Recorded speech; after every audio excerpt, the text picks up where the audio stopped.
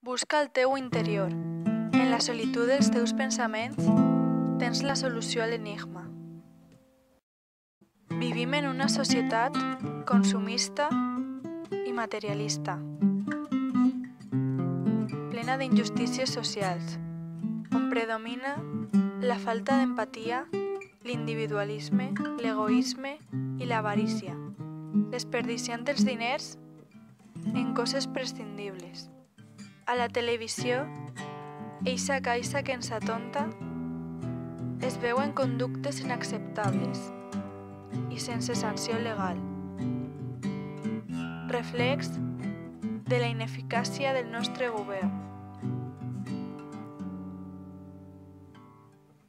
Entre la joventut pareix que només importa el passar-s'ho bé, vestir-se amb roba de marca i els idolatrats telèfons mòbils. Els assumptes seriosos no li importen a ningú, però Atena és una adolescent curiosa i distinta dels altres. Posa en dubte el que socialment és correcte, com els rols de gènere. Vol basar les seues relacions en llibertat i respecte, amb una sexualitat oberta i tolerant.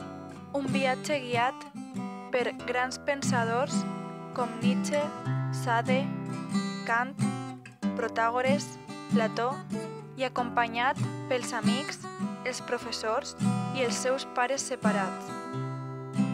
Tots ells l'ensenyaran alternatives al nostre sistema, beneficioses per a tots, com la sostenibilitat, el decreixement o l'economia del bé comú.